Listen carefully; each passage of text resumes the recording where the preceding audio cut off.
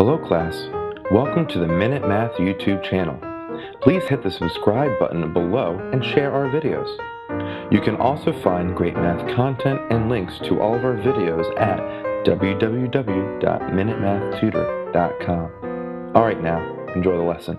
Hi, I'm Sean Gannon, and this is Minute Math, and today we're learning about multiplying, dividing fractions, and mixed numbers.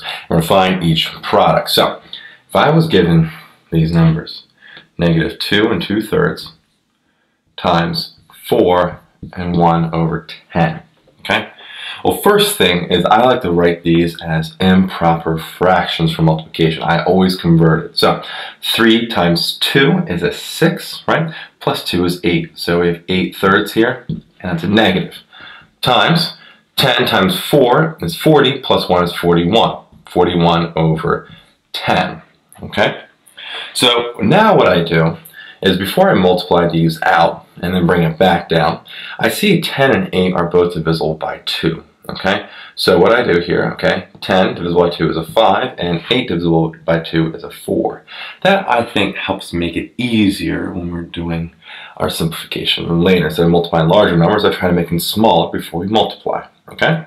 So just like we always do, multiply, here, I'll do it across here, multiply across the numerator, all right, 4 times 41, well, 41 times 4, that's a 4, and the 4 times 4 is 16. So we have 164 here.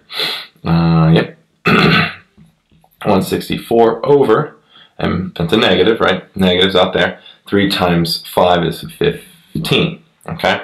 So now we want to bring this back down to a proper fraction. Well, how many times does 15 go into 164? So 15 goes into 164. 15 goes into 16 one time. 1 times 15, 15. Subtract them. 1, bring down the 4. Well, 15 does not go into 14, right? We got nothing there, so it was 0. 0 times 15 is 0. Subtract them, we have 14. Here's our remainder in a sense. So, our answer here, we know 10, or so this fraction, let me see how we bring it all together, right? This fraction, the negatives out front, 10 is what we have here, but then our remainder, which is 14, over 15, the divisor. And so we have our final answer of negative 10 and 14 over 15.